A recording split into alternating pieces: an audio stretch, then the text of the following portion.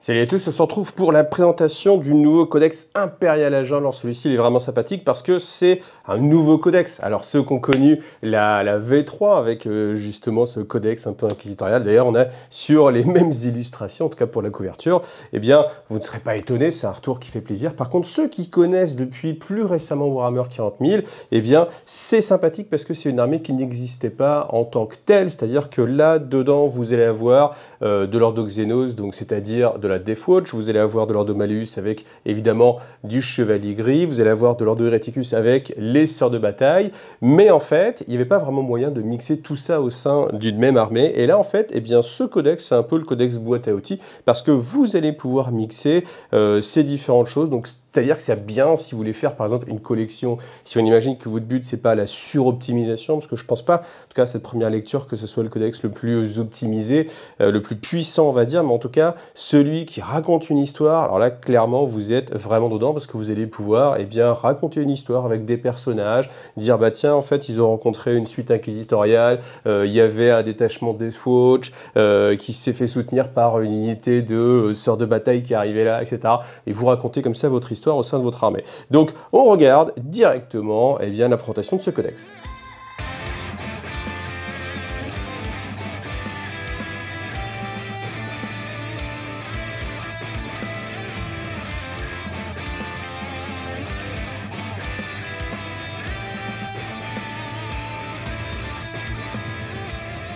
Alors comme d'habitude, un grand merci à Games Workshop hein, qui m'a envoyé ce, codex. Donc du coup, voici euh, le sommaire. Donc on a 128 pages, c'est un codex qui est plus restreint, mais en même temps, il y a un peu moins d'entrées aussi à l'intérieur. Par contre, il va être assez riche en termes de lore. Donc dans cette partie-là, je vais vraiment feuilleter très vite ce codex. Par contre, sur ma chaîne secondaire euh, spécifique Wargame Lore et TV, eh bien, je vais sans doute vous faire une, voire plusieurs vidéos sur le lore de ce codex parce qu'il est intéressant. C'est la question que je me posais. Euh, est-ce que du coup, ça va être un codex intéressant ou pas. Euh, en termes de lore, en tout cas, oui, la réponse est c'est intéressant. Donc on va aller quand même assez vite. Euh, vous voyez la présentation comme ça, donc on a des cartes un petit peu à l'ancienne. Alors, ce qui est bien, c'est que on a beaucoup de, petits passages comme ça qui vous apprennent des choses, des choses que je trouve assez actuelles.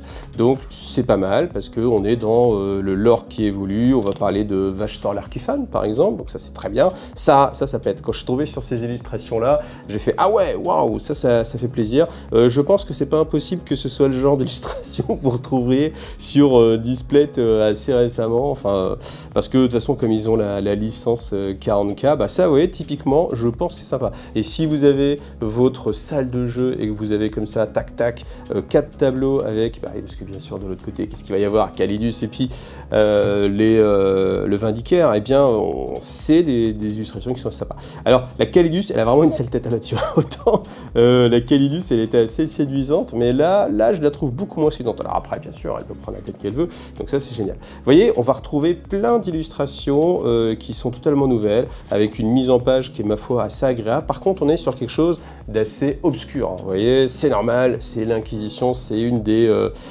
des pires choses qui existent euh, dans Warhammer 40 000, dans le lore, en termes de, de lore hein, de Warhammer 40 000, donc c'est assez euh, normal. Vous voyez, là, on va vous parler un petit peu de Draxus, avec quelque chose, vous voyez, on est euh, sur le Nexus Paria, donc vraiment la dernière actualité. donc c'est pas mal parce que ça vous fait une petite mise à jour. Vous voyez, on parle de Gregor Eisenhorn, donc ça aussi c'est très sympathique. donc je vous passe un petit peu toutes les, toutes les présentations, sachant que bien sûr, vous l'avez vu, c'est classé par les différents ordos. Donc là, le livre de l'hérétique, évidemment, on voit de la sœur de bataille, hein, on va voir du prêtre, euh, Katharina Grefax, forcément. Donc à chaque fois, on a bien sûr un inquisiteur assez emblématique. Euh, ensuite, le livre du Warp, Bannissez les démons. Donc bien sûr, qu'est-ce qu'on va avoir Eh bien, euh, Cotéaz, hein, euh, qui est le personnage qui, à mon avis, va être le plus mis en avant dans les Inquisiteurs, dans euh, les suites euh, du lore de Warhammer 40 000. Parce que vous savez que depuis quelques temps maintenant, le lore de Warhammer 40 000 avance raisonnablement. Et côté Az, il avait été euh, mis dans les arches fatidiques sur la fin, en mode hum, je vais surveiller. Et là, en fait, on nous dit qu'il a fait le vœu sacré de tuer Vashtor l'Archifan. Donc vous voyez, on va en entendre parler. Puis bien sûr, Vashtor, on va en entendre parler aussi euh, bientôt. Alors, le livre des étoiles, alors ça par contre, c'est la nouveauté. Ce qui est assez sympathique, c'est que, euh, bah, vous voyez, en fait, avec tout ce qui est euh, boarding, boarding assaut, ils ont sorti tout un tas de forces qui était un petit peu bizarre en fait, qu'on ne pouvait pas vraiment jouer à Warhammer 40 000. et là en fait, eh bien, on retrouve tout ça avec les libres marchands, et ça par contre c'est une vraie nouveauté.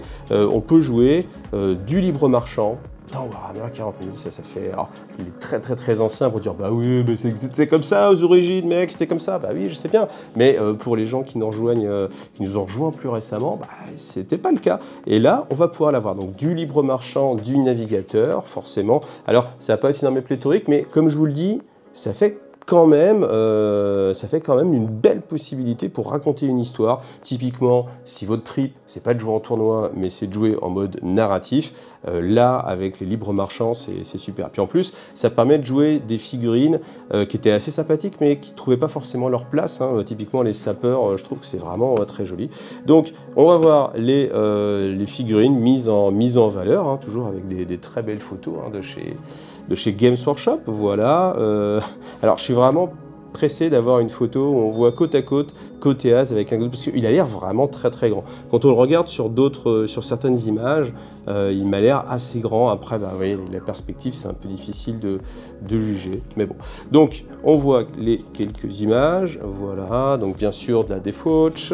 Euh, bien sûr, des suites inquisitoriales, hein, de l'arbitesse, euh, des sœurs de bataille. Donc, vous voyez, par exemple, je, le redis, mais vous le voyez bien, si jamais vous aviez envie de jouer, par exemple, les, Terminators Chevalier Gris, parce que vous les trouvez très beaux, mais vous auriez bien fait aussi une petite armée de de bataille, et puis finalement, une unité de des Fauch, c'est cool, mais bon, après, vous n'avez pas envie de faire une armée. Et ben voilà, ça, c'est le codex Melting Pot où vous allez jouer un petit peu de tout ça. Et si vous aimez justement la variété, et eh bien, ça veut dire aussi, ça sous-entend que vous allez être intéressé pour jouer aussi euh, les officiers de la marine, euh, les cosmo-marines, euh, des arbitesses, donc c'est parfait. Les petits, inquisiteurs, les grands inquisiteurs ou d'autres petits.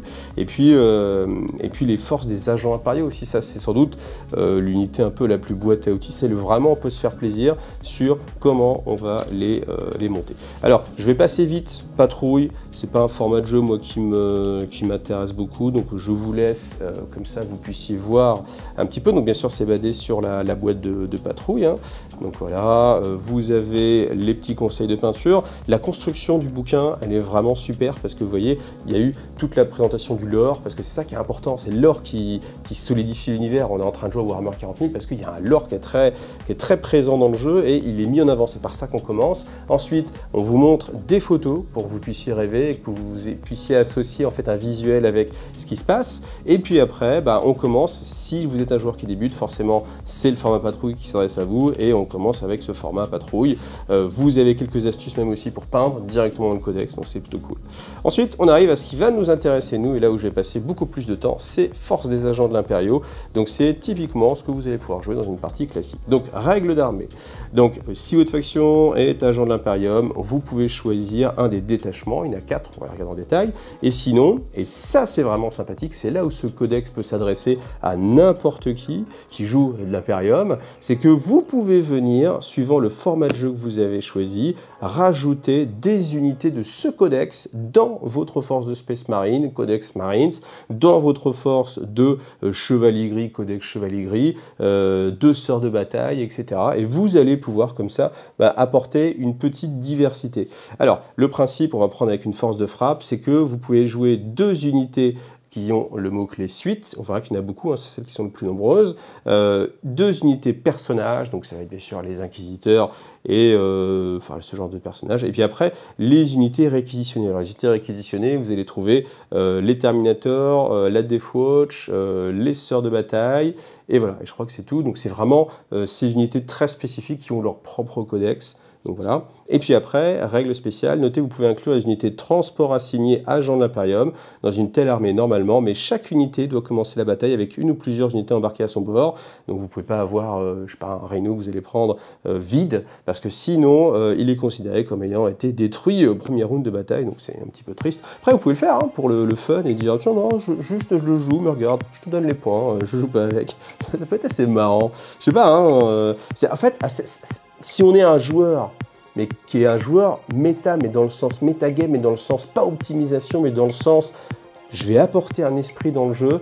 Vous pouvez la jouer en mode je suis un inquisiteur radical, j'arrive et regarde, ce je te l'offre parce que je suis prêt à tout. Là, là, ça met le niveau, hein. ça met le niveau. Franchement, si vous faites ça, là, ça met vraiment le niveau. Puis après, nous, ça coûte pas, ça coûte pas très cher hein. en termes de points, en termes de sous-sous aussi. Donc euh, voilà. Alors, on y va sur euh, le premier, donc chasseur de euh, Xenos, Lord of Xenos. Donc bien sûr, ça, c'est si vous voulez centrer votre force sur la Deathwatch. Alors, on me dirait. Pourquoi est-ce que, par exemple, plus avec Lord of Malus, pourquoi on ne jouera pas plutôt Chevalier Gris Eh bien, c'est si vous avez envie justement de jouer principalement Deathwatch, mais vous avez quand même envie de mettre des petits inquisiteurs par-ci par-là, et puis justement cette fameuse unité de Terminator que vous avez rachetée d'occasion, ou euh, que votre pote vous a refilé euh, pour Noël, euh, voilà, pour vous tenter, etc. C'est aussi la, bonne chose, hein, des unités vous plaisent, une petite escouade de sorts de bataille, vous n'avez pas envie de vous casser la tête sur une armée, mais encore une fois, ah, une petite escouade de sorts de bataille, vous la prendriez bien, et ben voilà, bah, malgré tout, vous avez une armée de défauts, et bien vous pouvez jouer dans ce sens-là. Alors, vous avez comme règle, qu'est-ce que vous avez? Vous avez au début de euh, votre phase de commandement, vous pouvez choisir une des tactiques qui est ici. Donc Fureur, c'est tout simplement, euh, vous avez touche soutenue 1. Malleus, c'est euh, pour toutes les unités. Alors par contre, c'est assez limitatif parce que ça s'adresse uniquement aux unités Deathwatch. Alors en termes de lore, c'est cohérent parce que parce que c'est leur façon de, combattre, mais en termes de puissance, voyez, de détachement, et eh ben ça va favoriser vraiment vraiment la Deathwatch et pas du tout quasiment pas les autres unités de votre armée, donc ça peut être un petit peu compliqué. Donc Furor, euh, touche soutenue 1, euh, euh, touche fatale, et ensuite Purgatus, la règle précision. Le problème, c'est que vous n'allez pouvoir le faire qu'une seule fois par bataille pour chacun, chacune des tactiques. Donc, dans les, dans les faits, vous allez pouvoir jouer qu'un seul tour avec Furor, un seul tour avec Malleus et un seul tour avec Purgatus. Ce qui n'est pas fou, ce qui n'est pas fou parce que c'est quand même assez limité, cette règle spéciale, mais on a euh, dans euh, les euh, stratagèmes, donc vous avez la tactique d'adaptation, donc tactique d'adaptation à votre phase de commandement, unité de Deathwatch, choisissez la tactique Furor, tactique Malius, tactique Purgatus, jusqu'au début de votre prochaine phase de commandement, la tactique de mission de la Deathwatch choisie est active, au lieu de n'importe quelle autre tactique de mission de la Deathwatch, et, et, et voilà, elle remplace, et vous pouvez la jouer même si elle a déjà été utilisée. Alors bien sûr, c'est pour une seule unité. Donc c'est un petit peu limité. Euh, c'est pour ça que vous voyez là tout de suite comme ça, moi déjà dès le début je me dis bon ok ça n'a pas l'air euh, ça pas l'air très fort. Mais après c'est pas grave. Encore une fois on n'est pas obligé d'avoir que des codex qui sont de plus en plus forts et un qui raconte des histoires et qui permet vraiment de se faire plaisir. Moi je, suis complètement pour. Alors les optimisations bien sûr c'est pour les personnages. Euh, donc figurine agent de l'impérium seulement. Donc les armes de mêlée dont est équipé le porteur ont les capacités anti-infanterie 2+ et anti-monstre 4+. Donc c'est assez sympathique. ça peut faire des, des petites blagues. Le suaire de Noartov donc ça c'est assez facile à apprendre figurine agent de l'Imperium, le porteur a une insensible à douleur 4+, c'est très bien, si vous avez les points, il n'y a aucune raison de ne pas le prendre.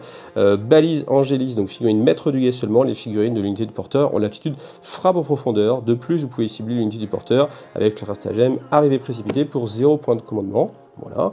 Euh, amulette d'auto-châtiment, donc ça, vous allez cibler un véhicule, c'est que pour le maître du guet, euh, du, du, du guet, du guet. Choisissez une unité véhicule, euh, Titanic exclu, à 12 pouces et visible du porteur. Elle fait un test de commandement. quoi qu'il arrive, vous allez soustraire un au jet de touche, et si le test est raté, l'unité va carrément zapper sa phase de tir. franchement, c'est pas mal. C'est pas mal. Ensuite, donc, vous avez l'armure du mépris pour un point de commandement. Donc, c'est sur une unité de Deathwatch. Vous allez dégrader de 1 la pénétration d'armure. C'est euh, toujours, toujours très, très utile. Euh, munitions Hellfire. Alors, on va avoir les, trois types de munitions la Hellfire, Dragonfire, la Kraken. Donc, c'est bien sûr à chaque fois à la phase de tir. Ça va coûter un point de commandement à chaque fois. Euh, c'est pour une infanterie de Deathwatch à chaque fois. Comme ça, voilà, on a tout mis ensemble.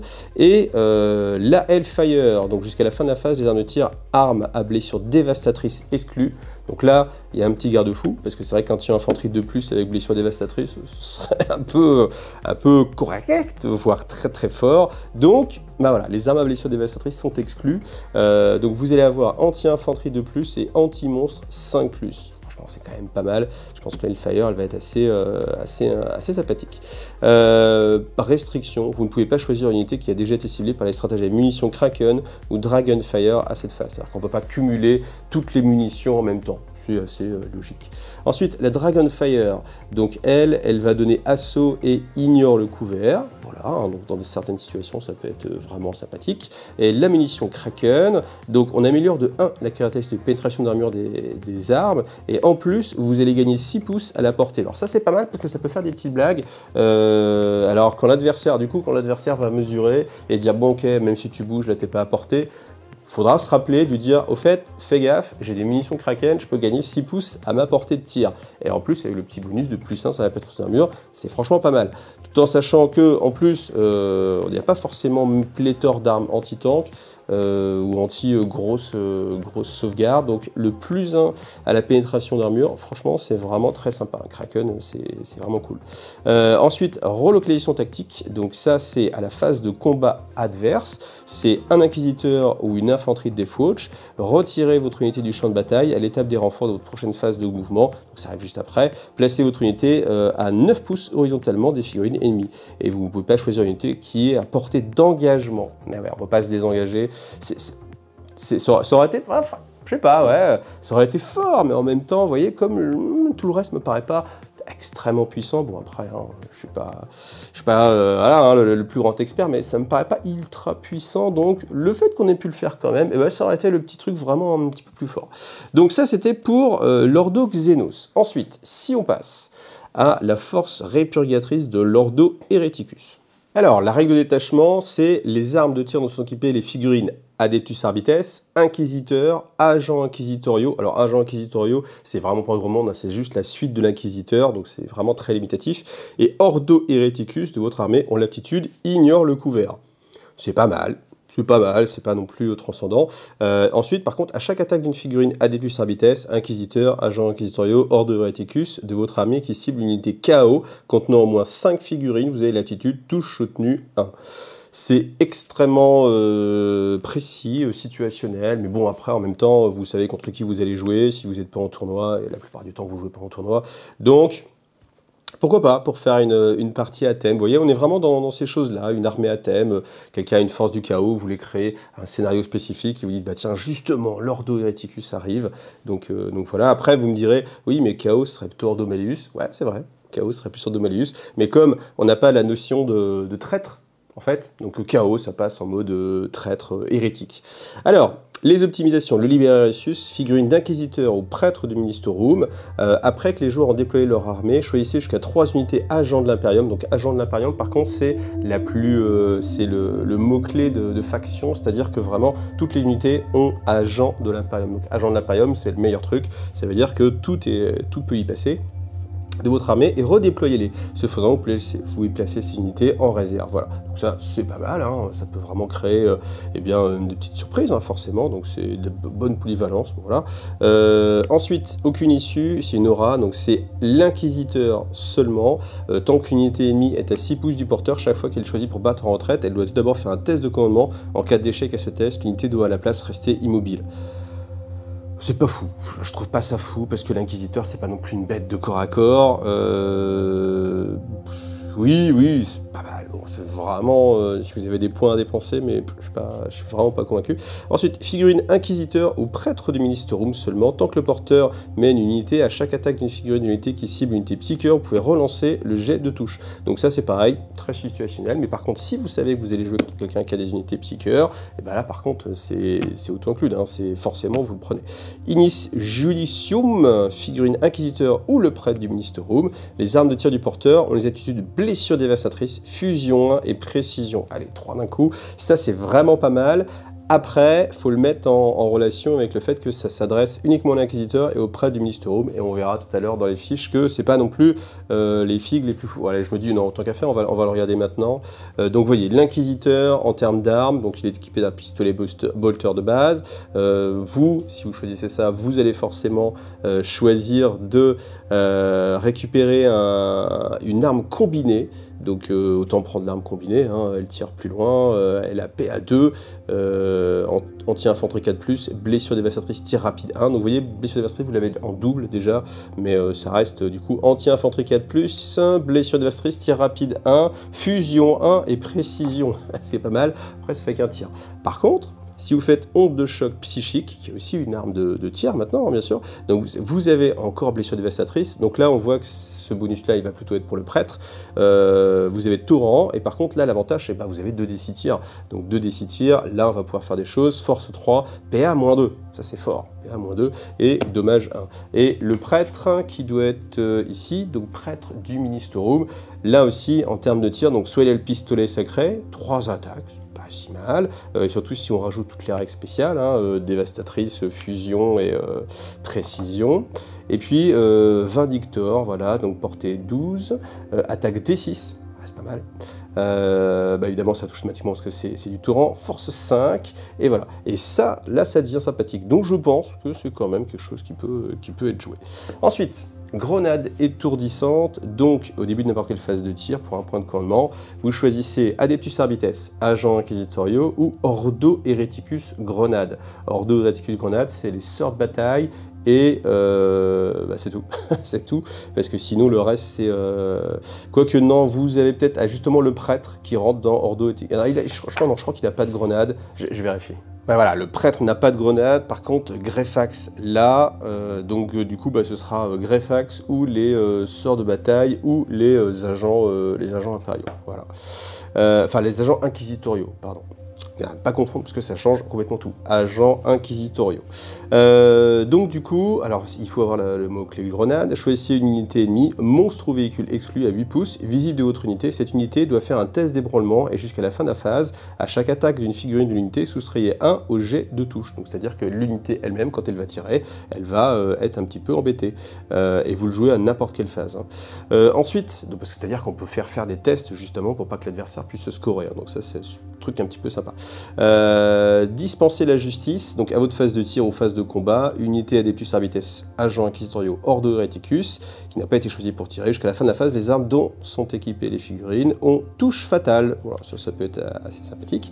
Euh, juridiction inviolée, euh, à la phase de tir adverse ou à la phase de combat, juste après qu'une unité ennemie a choisi ses cibles, donc unité toujours pareil, hein, Ordo Reticus, infanterie, etc., de votre armée à portée d'un pion objectif et qui a été choisie comme cible d'une ou plusieurs attaques, elle a une insensible à 5+. Ça c'est bien. Ça, c'est très bien. Euh, pour un point de commandement, je pense que ça sera utilisé assez souvent.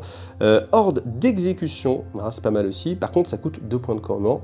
Euh, donc, à votre phase de commandement, unité, toujours pareil, je vous le disais, hein, choisissez une unité personnage ennemi sur le champ de bataille jusqu'au début de votre prochaine phase de commandement. Chaque fois qu'une figurine de votre unité cible cette unité personnage, ses armes ont l'aptitude précision. Donc, ça, c'est vraiment si vous voulez shooter un perso.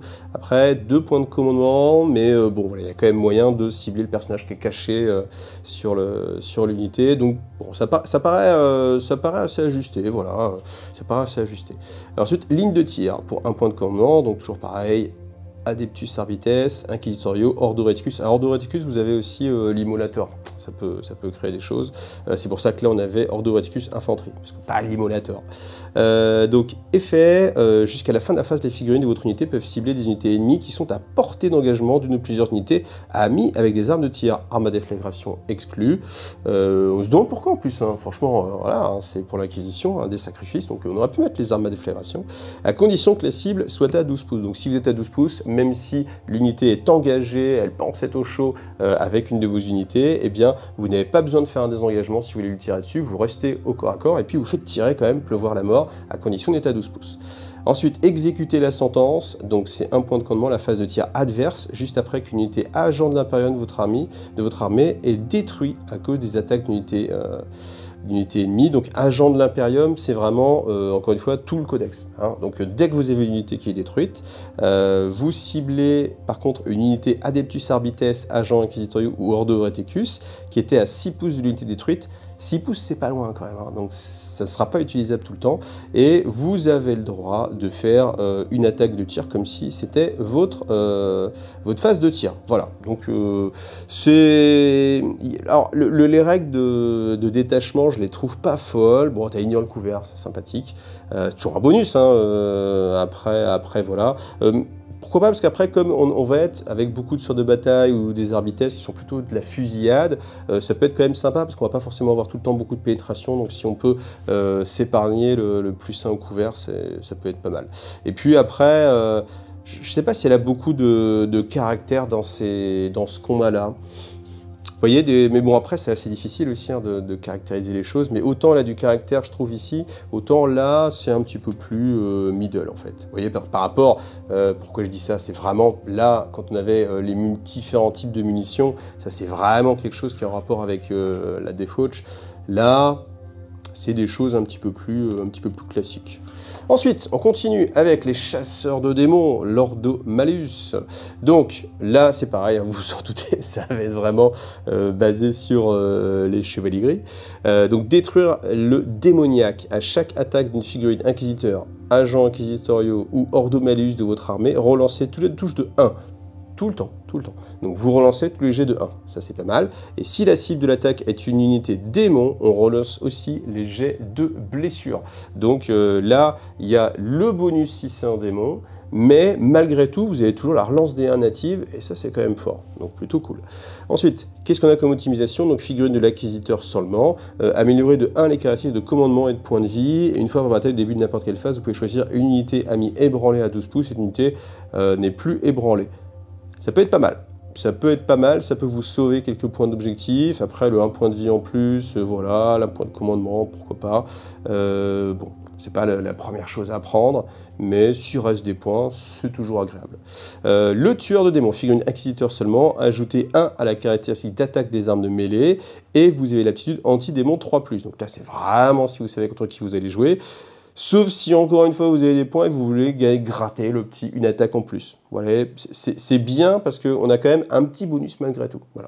Euh, des fois que vous vouliez gonfler les points, des fois ça, arrive aussi, hein. c'est-à-dire que vous n'avez pas suffisamment de figurines. On vous dit tiens on joue à 2000, vous êtes un petit peu court en figurines, donc du coup vous essayez de booster et vous mettez toutes les optimisations possibles. Euh, donc là voilà, bien sûr vous allez la mettre. Ensuite le grimoire des noms véritables, voilà ça c'est très, euh, très fluffy. Figurine inquisiteur seulement, tant qu'unité est à 9 pouces du porteur, dégradé de 1 la caractéristique de commandement des figurines de l'unité.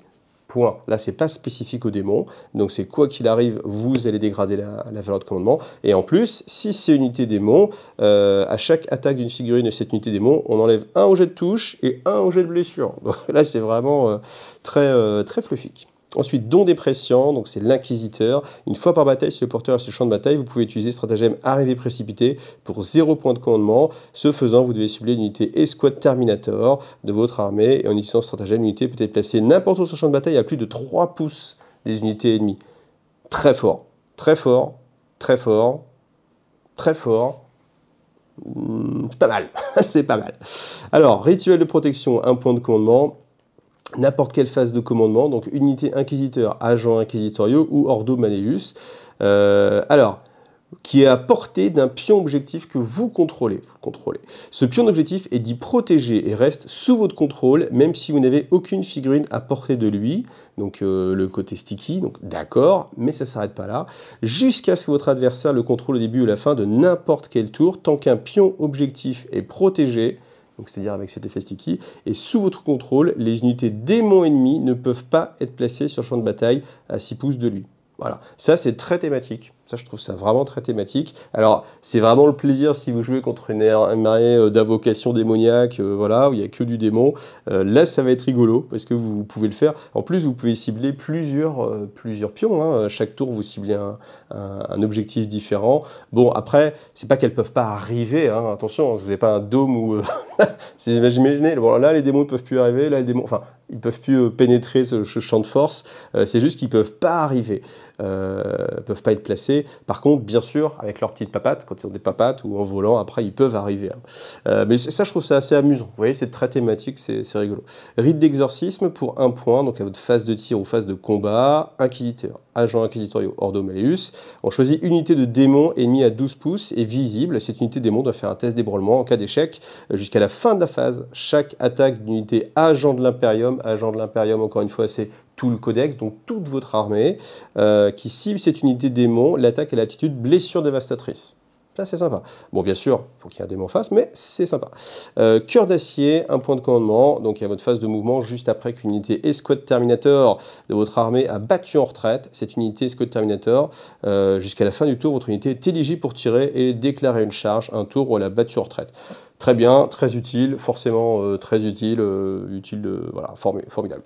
Euh, armure d'argent véritable, donc un point de commandement aussi, à la phase de tir adverse ou à la phase de combat, juste après qu'une unité ennemie a choisi ses cibles, unité escouade Terminator des Renite de votre armée qui a été choisie comme cible jusqu'à la fin de la phase, chaque fois qu'une attaque cible votre unité, dégradée de 1 la caractéristique de pénétration d'armure de l'attaque. C'est fort, parce que c'est sur du thermi, donc, enfin, ce serait fort si on pouvait le faire sur tout le monde, mais là en plus c'est du thermi, donc les thermis souvent le petit point de PA, ça fait une grosse différence. Donc là, vous allez euh, dégrader de 1. C'est vraiment très, très, très, très sympa. Euh, protection isogrammatique à la phase de tir adverse ou la phase de combat, juste après qu'une unité ennemie a choisi ses cibles. Donc vous choisissez unité Ordo Malleus, donc c'est un petit peu plus large, mais pas ouf, de votre armée qui a été choisie comme cible d'une ou plusieurs attaques. Jusqu'à la fin de la phase, les armes psychiques dont sont équipées la figurine de l'unité attaquante ont l'aptitude à risque c'est très, euh, très situationnel. Euh, là, on est vraiment sur du très, très, très euh, situationnel. Mais bon. Ensuite, munitions psy. Donc, à votre phase de tir, unité Terminator. Jusqu'à la fin de la phase, les armes de tir dont sont équipées cette figurine, enfin, cette unité, pardon, ont l'aptitude touche fatale et psychique. Voilà. Donc ça, c'est pas mal. c'est pas mal, c'est classique. Et, là, on est sur quelque chose de très thématique, hein, je trouve et à la fois très thématique, et à la fois vous avez cette relance native des 1 tout le temps, ce qui peut assurer euh, le coup et être une règle de détachement plutôt très très correcte.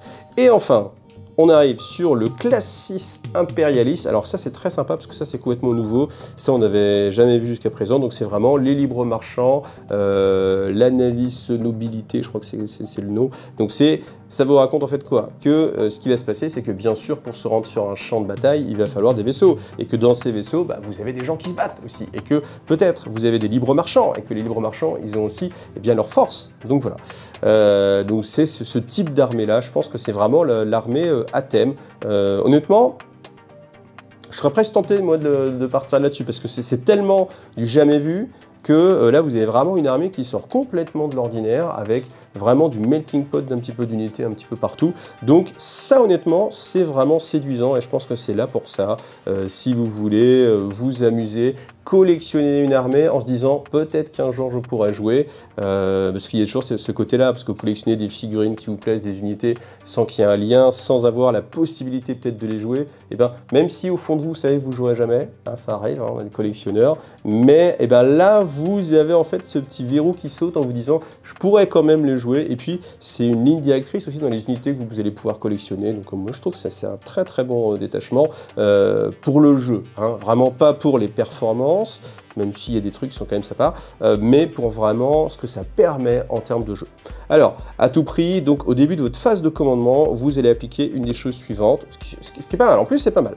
Donc éliminer à tout prix, donc choisissez unité ennemie sur le champ de bataille jusqu'au début de votre prochaine phase de commandement. À chaque attaque d'une figurine agent de l'Imperium, toute votre armée. Euh, qui cible cette unité, ajoutez un au jet de touche. Et comme là on va pas être sur des unités qui tirent forcément fort, euh, le plus 1 au jet de touche, c'est vraiment pas mal. Ou alors, acquérir à tout prix, donc choisissez un pion d'objectif jusqu'au début de prochaine phase de commandement. Tant qu'une unité agent de l'Imperium, vous avez l'habitude, c'est tout le codex, euh, de votre armée est à portée de ce pion d'objectif, améliorer de 1 la caractéristique de commandement, de contrôle d'objectif des figurines de l'unité. Donc en fait, ça... Alors, ça va pas le doubler, mais si souvent vous avez un point dossé, là vous le doublez, vous passez à deux dossés, donc euh, entre euh, j'ai trois figurines, ça fait 3, et j'ai maintenant trois figurines qui font 6, ça change pas mal de choses. Euh, ça change pas mal de choses, donc ça c'est vraiment pas mal. Et en plus, elles ont une sauvegarde invulnérable de 5+. Et ben ça, ça fait des blagues, ça fait pas mal de blagues. Donc je trouve que pour le coup, ces, règles de détachement, elles sont vraiment très polyvalentes, parce qu'on a vraiment deux choses, et de l'attrition et du contrôle d'objectifs, ce qui est typiquement les notions de, ce qu'on peut chercher à faire dans une partie. Donc ça, c'est vraiment séduisant. Ensuite, arme digitale, donc agent de l'Imperium. Euh, chaque fois que le porteur est choisi pour combattre, on jette 3d6 pour chaque 4+, l'unité ennemie euh, prend une blessure mortelle. Les blessures mortelles infligées par cette animation sont allouées comme si elles avaient l'aptitude précise c'est pas mal. Après, dans les faits, oui, bah, ça fait une touche et demie, un point et demi euh, par tour. Ça va pas changer la donne, mais on sait jamais. Ça peut raconter des histoires. Ça peut faire euh, le petit point de vie qui manquait, voire vous avez de la chance, deux points de vie en moins. ça peut, ça peut. Ensuite, opération clandestine, donc agent de l'Imperium seulement. Au début de l'étape, enfin agent, je, répète, hein, parce qu'à chaque fois, des fois, j'ai l'impression, c'est que, y a, en fait, ce que je trouve qui est mélangeant un petit peu, c'est qu'il y a agent de l'Inquisition et il y a agent de l'Imperium, agent inquisitorial. Agent de l'Imperium, c'est encore une fois tout le monde. C'est très fort. Euh, figurine agent de l'Imperium seulement. en fait, c'est le seulement, hein, c'est très limitatif, alors qu'en fait, ça veut dire tout le monde. Euh, figurine agent de l'Imperium, génial. Au début de l'étape déclarer les formations de bataille, vous pouvez choisir jusqu'à 3 unités, agent de l'Imperium infanterie, euh, unité Squad Terminator Direct exclue. Cette unité gagne l'aptitude infiltrateur. Très bien. Là, on va être sur une faction qui a vraiment beaucoup de contrôle de, territoire. Maître de la flotte, figurine voyageur stellaire seulement. Donc ça, voyageur stellaire, c'est plus, euh, plus restrictif. Euh, donc là, on peut mettre seulement, hein, d'accord, j'insiste, une fois par round de bataille. Vous pouvez cibler l'unité du porteur avec le stratagème acquisition violente qui est ici, deux points de commandement, il est gratos, c'est cool. maître du cosmos ou barrage en combat rapproché pour zéro point de commandement. Et malgré la précision qui a été mis, je pense que ça supplante à l'impression. Ça, il y a une précision qui vous dit que quand vous avez un... Euh, je, me mets le doute en fait, pourtant j'étais sûr, mais je, m'en mets le doute, mais euh, dans les précisions de Warhammer 40 000 récemment, on a dit que quand il y avait un stratagème qui était gratuit, en fait, ça réduisait son coût de 1 point. Sauf que là, ah oui, je sais pas en fait. Non, en fait, faudra, faudra regarder. Parce que je me dis, en fait, le codex, il a peut-être été écrit, euh, bah, et c'est le cas depuis bien longtemps, et au final, euh, cette phrase-là est supplantée par le fait que maintenant, dans les dernières précisions de Warhammer 40 000, on vous dit que quand un stratagème est gratuit, en fait, vous dégradez de 1 point son coût. Donc auquel cas, acquisition violente coûte que 1 point. Bah écoutez, si ça a été tranché en commentaire, enfin si ça a été tranché, n'hésitez pas à me le dire en, commentaire. Malgré tout, maintenant, ça vous fait un de ces stratagèmes gratuits, c'est pas mal. Euh, sachant que petite restriction, ça vous permet pas de l'utiliser deux fois, parce que des fois, souvent, on a euh, une capacité comme ça qui vous dit, euh, même si le stratagème a déjà été utilisé, là, c'est pas le cas. là, si vous l'avez utilisé pour 0 point avec maître du cosmos, vous pouvez pas refaire un maître du cosmos dans le même tour et troupes euh, spatio, spatio-portées. Spatio-portées, voilà. Spatio-portées SS. Euh, spatio-portées troupes. Euh, figurine voyageur stellaire seulement. Au début de l'étape déclarer les formations de bataille, vous pouvez choisir jusqu'à 3 unités voyageurs stellaires de votre armée. C'est une unité qui a l'aptitude frappe en profondeur. C'est pas mal, mais voyageurs stellaires, c'est un peu restrictif malgré tout. Acquisition violente. Bim, deux points de commandement à votre phase de tir ou la phase de combat. Euh, unité agent de l'Imperium, tout le monde. Je précise, hein, mais je pense que ça, ça vous sera bien rentré dans la tête et vous passerez pas du temps à vous dire attends, c'est lesquels déjà? Oui, c'est lesquels? Euh, jusqu'à la fin de la phase, chaque fois qu'une figurine de votre unité fait une attaque qui cible une unité ennemie à portée d'un pion objectif, l'attaque et les attitudes touche soutenu 1, lance et ignore le couvert, tout en sachant que vous euh, ne ciblez pas une zone d'objectif en particulier. Ça veut dire que sur toute la table, dès que vous avez une unité à côté d'un pion objectif, eh ben, elle va se prendre touche soutenue, lance et ignore couvert. Donc ça, c'est pas mal. Maître du cosmos, donc à votre phase de mouvement, euh, personnage voyageur stellaire, donc là c'est très limité.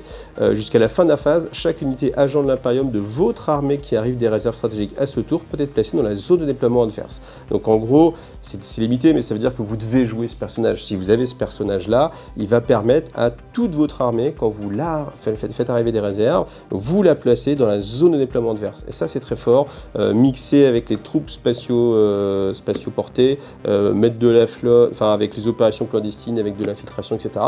Il y a vraiment moyen, je trouve, de pouvoir faire euh, vraiment une prise de territoire et une sorte de déploiement orbital où euh, bah, l'adversaire doit vraiment se méfier de tous les, bords du champ de bataille. Donc ça, c'est vraiment sympa barrage en combat rapproché, donc à votre phase de tir, une unité voyageur stellaire, euh, jusqu'à la fin de la phase, chaque fois qu'une unité de votre, euh, de votre figurine de votre unité fait une attaque de tir qui cible l'unité à 12 pouces, améliorée de 1 les caractéristiques de force et de pénétration d'armure de l'attaque. C'est pas mal, parce que les voyageurs stellaires, c'est pas forcément euh, des bons trucs, mais c'est pas non plus le, truc de folie. Là, comme c'est assez limité, ben, c'est pas mal parce que c'est force et pénétration d'armure, c'est le double bonus. Hein. Euh, volonté de l'empereur ensuite, donc à votre phase de mouvement, une unité agent de l'impérium, tout le monde, ouais, ouais, c'est bon, ça, rentre. Euh, jusqu'à la fin de la phase, votre unité est éligible pour tirer à un tour où elle avancé ou battu en retraite. Hein. Ça, c'est vraiment euh, très classique, ça, ça va être utilisé vraiment très souvent. Champ téléporteur. C'est rigolo. Donc à la phase de tir adverse, juste après qu'une unité ennemie a choisi ses cibles. Donc on vous cible, on vous cible, mais vous n'avez pas, encore les, jets qui ont été faits. Donc unité personnage agent de l'impérium de votre armée.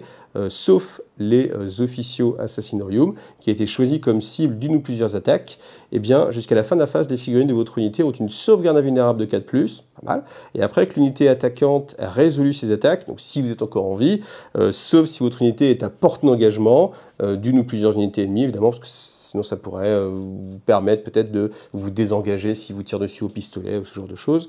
Euh, donc là, ça ne marchera pas. Mais si vous êtes encore en vie et non engagé, eh bien, vous pouvez faire un mouvement normal de jusqu'à 6 pouces et vous êtes considéré comme ayant le mot-clé vol à ce moment-là. Donc c'est pas mal, franchement ça fait des, petites surprises aussi, ça permet de redynamiser. Euh, puis si quelqu'un justement a fait toutes ces mesures et s'est mis à porter, bah là c'est pareil, il faut lui dire hey, eh, fais attention, j'ai mon à les porteurs, euh, on n'est pas à l'abri que tu te sois passé à la limite de portée, que du coup tu me tires dessus et après tu puisses plus tirer. Garde du corps dévoué, enfin, donc à la phase de tir adverse ou la phase de combat, euh, donc unité agent d'impérium attachée qui a été choisie comme cible d'une ou plusieurs attaques de l'attaquant. Donc si l'attaquant a précision, en gros, et que vous avez un personnage et qu'il est dans sa suite, euh, c'est un 2+, vous allez avoir une figurine de garde du corps qui va prendre les dommages à sa place. Donc c'est anti-précision, voilà pour simplifier. Et voilà, et franchement, Classic Imperial, je trouve ça très séduisant, c'est nouveau, donc j'aime bien quand il y a des trucs un petit peu nouvelles qu'on n'a pas vu 50 euh, fois ailleurs. Euh, c'est séduisant, tout reste à faire sur cette, euh, sur cette liste. Et d'ailleurs, ça va être un petit peu aussi l'intérêt sur ce codex dans sa globalité, c'est que tout reste à faire parce que c'est pas comme si vous reprenez votre codex TO, vous avez déjà des, des, des, mécanismes de jeu qui sont en place. Là, il y a vraiment une nouvelle architecture complète. Donc je pense que c'est vraiment très séduisant. Voilà. À rajouter à ça le côté lore qui est assez sympathique. Donc ça pour vous dire que si vous avez envie d'acheter ce codex, eh bien vous l'avez avec 15% de remise avec le lien My Hobby Place version IGTV. Ça soutient aussi mon travail directement et ça c'est ce qui me permet bah, de vous faire cette review parce que je peux le faire parce que les gens me soutiennent sur Tipeee, parce que les gens me soutiennent sur My Hobby Place. Donc ce codex, franchement, je conseille pas toujours d'acheter les codex, mais celui-ci, honnêtement, si vous êtes collectionneur de Warhammer 40 000, c'est un euh, vraiment le. Je, pense que c'est le codex même à prendre. Voilà. Ensuite, Inquisiteur. Alors, l'Inquisiteur, euh, j'allais directement aller sur... Non, on, va, on va reprendre à zéro. Alors, je vais pas détailler tout à fond parce que ça va être un petit peu long. Euh, donc, 6, Endurance 3, normal, c'est un humain, sauvegarde 4+. Pas plus quand même. Hein, Sauvegarde invulnérable de 5 4 points de vie. Alors il coûte 55 points à l'heure actuelle, sachant que ces valeurs elles sont souvent amenées à évoluer. Hein. Je serais pas étonné que comme toutes les sorties de codex, il y ait une réévaluation. En tout cas, là pour l'instant c'est 55 points. Et 55 points, vous allez voir, c'est une belle boîte à outils qui permet pas mal de choses. Donc les armes de tir, on les a déjà vues tout à l'heure. Euh, les armes de mêlée, euh, bon bah voilà, euh, on peut le remplacer. Alors ce qui est intéressant, ce qui est intéressant, c'est que cette figurine peut être attachée aux unités suivantes Kill Team Deathwatch, euh, escouade des actions, donc ça c'est les arbites, escouade Terminator, infanterie ligne Imperium, infanterie ligne Imperium, donc c'est là où ça va chercher beaucoup beaucoup beaucoup de choses, parce que vous avez énormément de choses qui sont infanterie ligne Imperium, je parle pas dans ce codex, mais je parle bien évidemment de quand vous le jouez en mode, vous avez pris un personnage de ce codex là pour le jouer avec votre codex Space Marine, avec votre codex sur de bataille, et bah, vous avez beaucoup d'infanterie ligne Imperium. Et là, vous pouvez rajouter cet inquisiteur dans votre escouade et ça va avoir un impact. Ensuite, sapeur de la marine impériale, agents inquisitoriaux, escouade de sœurs de bataille, euh, escouade subductor et l'escouade de vigilants.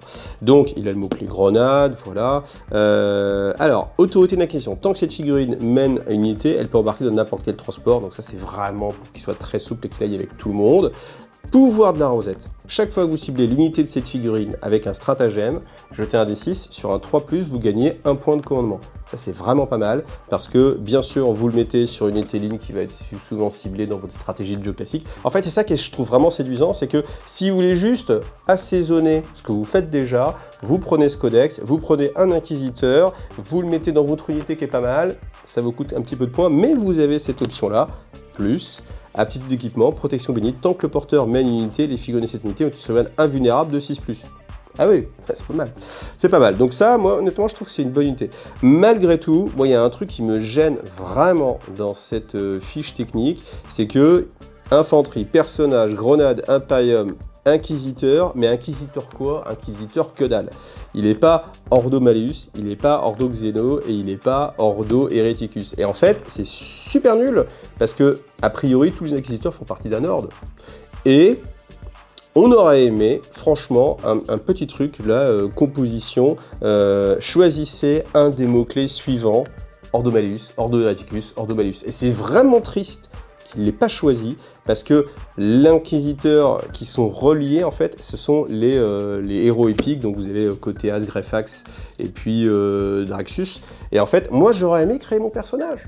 Alors après, on peut toujours jouer Cotéaz et dire, euh, il s'appelle pas Cotéaz, il s'appelle euh, Carmen Electra, euh, et, voilà, et c'est une inquisitrice au service de l'Ordo Malleus, blablabla, on s'en fout de, son fluff, moi j'invente mon propre fluff, cette figurine, je la remplace par une autre figurine, ah bah, vous avez bien fait, parce qu'elle est pas belle, et voilà, mais J'aurais bien aimé qu'on puisse le faire juste avec l'inquisiteur de base, parce que c'est justement le codex un peu melting pot où on se fait plaisir, et ne pas pouvoir choisir un ordo, c'est vraiment dommage. Et je trouve qu'ils sont vraiment passés à côté d'un petit bonus qui serait super cool, parce que ça veut dire que lui pourrait bénéficier de tous les bonus qu'on a vu tout à l'heure. Ordo Hereticus, il ne peut pas le faire. Et des fois, on a, on a euh, les restrictions Ordo Hereticus et pas euh, Inquisiteur pour déclencher hein, les, les stratagèmes. Donc, il est très cool, mais il aurait pu être parfait. voilà. Euh, ensuite, donc bon, côté As, voilà, forme Après, je vais pas détailler toutes les, toutes les fiches parce que, parce que ce serait vraiment trop long. Et puis voilà, après, c'est l'analyse. Donc, je vais vous laisser regarder quand même les, euh, les, les, petits bonus. Donc, bien sûr, lui, c'est. Allez, on va faire les trois. C'est quand même le personnage emblématique de Malleus version Inquisition. Alors il a son magnifique marteau tueur de démons, donc c'est psychique, ça c'est important. Euh, trois attaques, trois attaques c'est pas fou, hein, voilà. CC 3+, bah, c'est normal, hein, c'est les marteaux, souvent par nature les marteaux n'avaient moins 1 pour toucher. Euh, force 9, PA 3, dommage 3, c'est pas mal, mais en fait, comme il est tueur de démons Nemesis, euh, je pense qu'il aurait pu avoir un petit truc, un truc un peu, un peu bonus. donc il peut rejoindre escouade d'exaltation, escouade Terminator, blablabla, infanterie ligne Imperium, Là où c'est sympa aussi, là c'est très très très sympa. Euh, bon après c'est très très logique aussi.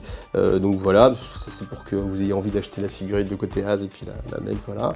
Euh, ensuite, donc autorité Napoléon c'est toujours le même système, hein, c'est-à-dire qu'il peut rentrer dans les véhicules. Protection contre le mal psychique, tant que cette figurine mène une unité, les figurines de l'unité ont une sauvegarde invulnérable de 6+, hein, ce qu'on avait ici, et une sauvegarde invulnérable de 4+, contre les attaques psychiques et les attaques faites par les figurines démons. C'est pas mal, parce que ça vient rajouter le petit côté, et eh ben c'est pas n'importe qui, lui il est vraiment spécialisé Ordo Malus. Euh, réseau d'espions, chaque fois que votre adversaire gagne un PC grâce à une attitude, jetez un D6 sur 2 plus, vous gagnez également un PC. Ça, je trouve ça vraiment pas mal parce que, euh, bah, parce que bon, sur un 2 plus, c'est quand même assez, assez évident. Euh, si vous avez un, enfin, ça, honnêtement, c'est pas mal. Ensuite, habitude d'équipement, le Cyber Aigle voyen, donc là, c'est le, double aigle qui, est juste en fait un, pion. Euh, donc à votre phase de commandement, vous pouvez choisir une unité ennemie à 18 pouces du porteur jusqu'au début de votre prochaine phase de commandement. Cette unité ennemie ne peut pas avoir le bénéfice du couvert. Donc c'est pour un adversaire, vous le ciblez, vous mettez ce petit pion à côté pour s'en rappeler. Euh, voilà, il embête, il embête les gens. Euh, et, puis, et puis voilà, on passe. Alors, l'inquisitrice Drexus, euh, donc là, voilà, ligne de stats, euh, somme toute assez, assez, assez classique. Donc, qu'est-ce que là Champ deuil, anti-infanterie 4+, assaut, blessure dévastatrice ses 18, attaque 4, c'était 3. Alors, c'était 3, c'est un petit peu dommage, parce que pour quelqu'un qui est l'élite de l'élite de l'élite de l'élite, qui a franchi des seuils incroyables, et pour arriver à être inquisiteur, ne pas toucher sur un de plus quand même. Ça, je trouve que c'est un petit peu euh, dommage. Alors après, elle aura été hyper puissante, hein, mais, mais après, c'est pas grave. le...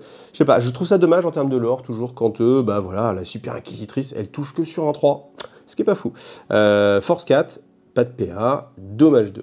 Et ensuite, tempête psychique, donc touche soutenue 2, euh, attaque 6, donc ça va souvent se, déclencher, 3 euh, force 6, dégâts 2.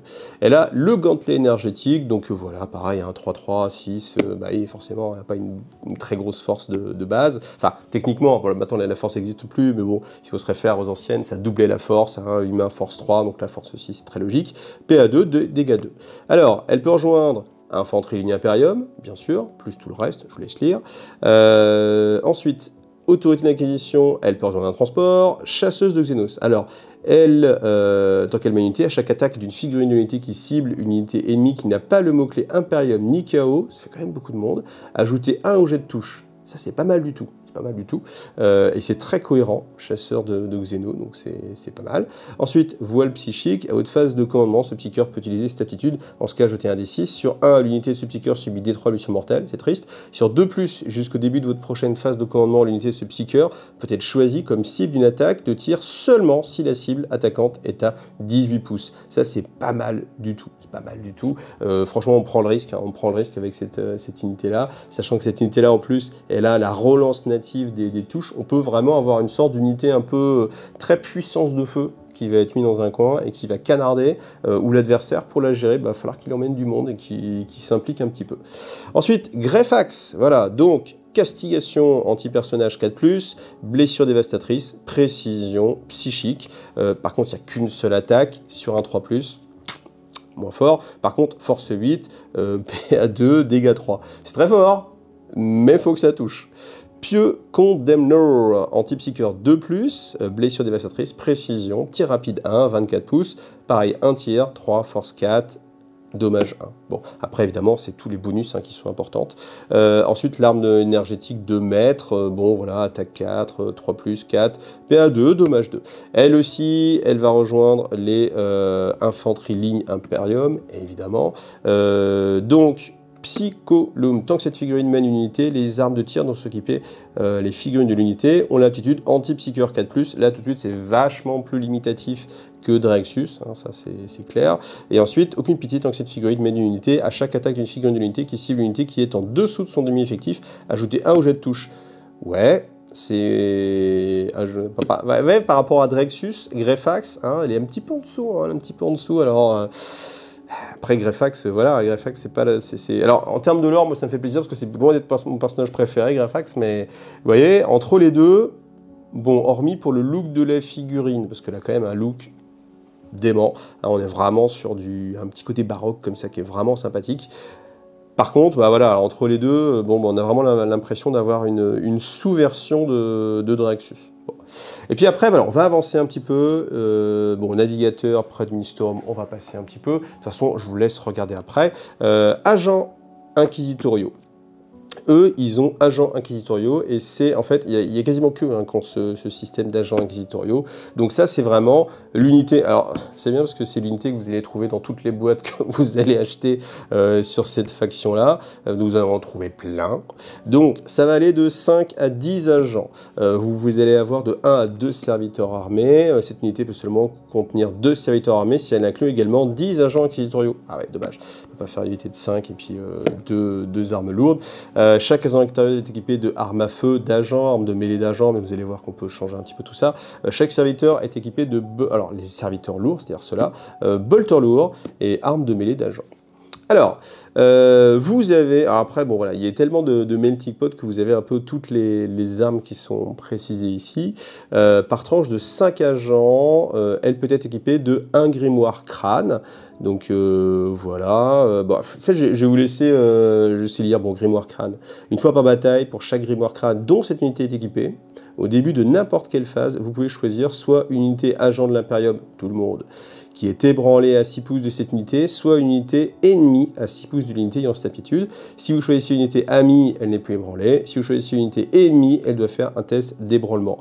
Et euh, placer le nombre employé de petits pions grimoire crâne, ces petits, euh, les petits icônes, euh, sachant que par tranche de 5, donc forcément, enfin, si vous en jouez 10, vous pouvez en mettre 2, c'est pas mal c'est pas mal. Enfin, de toute façon, il n'y a pas d'intérêt à pas le, pas le mettre. Hein.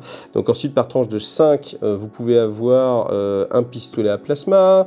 Euh, par tranche de 5, vous pouvez avoir un agent équipé d'un éviscérateur. Par tranche de 5, un agent dans l'unité. Un agent peut être équipé d'un sceptre mystique. sceptre mystique, mal anti-infanterie 4+, hein, psychique. attaque 2, 3, force 5, D3 dommages. Voilà, c'est sympathique.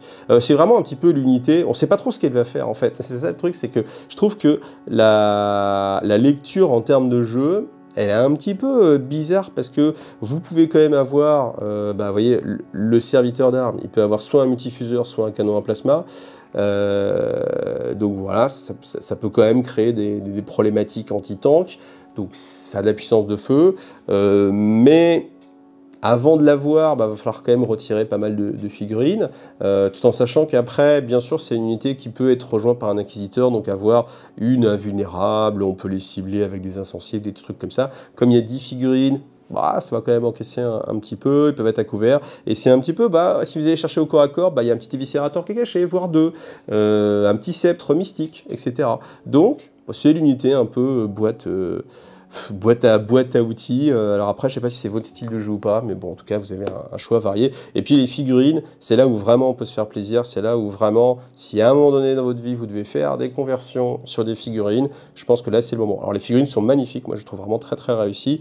Mais justement, c'est le moment bah, de couper un petit bras, de récupérer un bras, de voir de d'aller dans votre pile au trésor, toutes ces figurines qui dorment, vous ne savez pas quoi en faire, et ben vous cherchez votre boîte à bits c'est vraiment rêvé de sortir votre boîte à bits. Donc, voilà. Ensuite, eh bien, je ne vais pas détailler tout parce que là, ça va être très long, mais vous allez avoir les différentes unités qui avaient été présentes dans euh, Boarding euh, Patrol et euh, qui, là, du coup, ont des, règles de jeu. Donc, vous avez les sapeurs de la marine impériale. Voilà.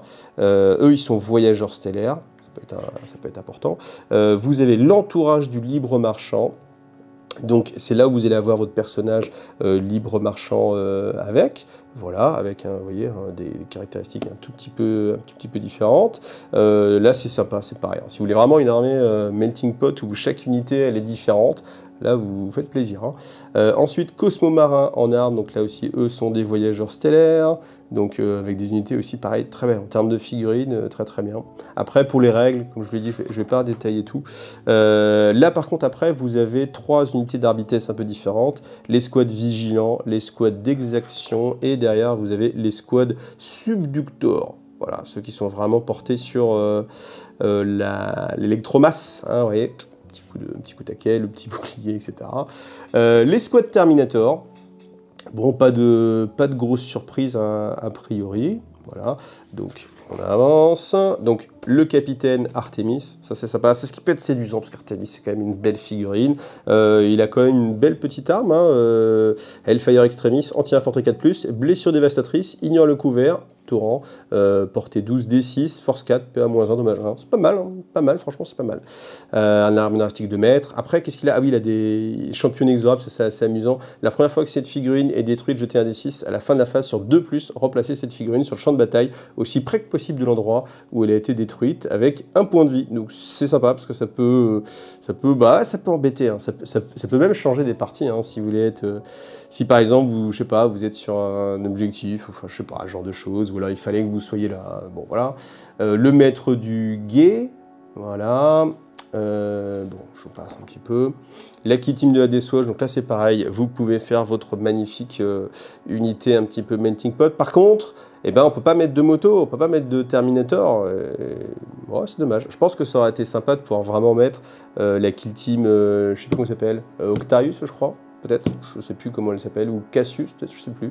Euh, celle qui était euh, vraiment la première où il y avait vraiment des persos, euh, tous les persos et chacun son style, Damoto, du Terni, etc. Ça aurait été rigolo. Bon, ça aurait été plus facile, enfin moins facile de, de, la récupérer justement, mais en tout cas ça aurait été rigolo. Le Corvus Blackstar, alors attention parce que le Corvus Blackstar, ce n'est pas un transport assigné et il a le mot-clé suite, donc on peut le prendre en tant que suite dans les unités suite. Par contre, on ne peut pas le prendre en tant que euh, transport assigné.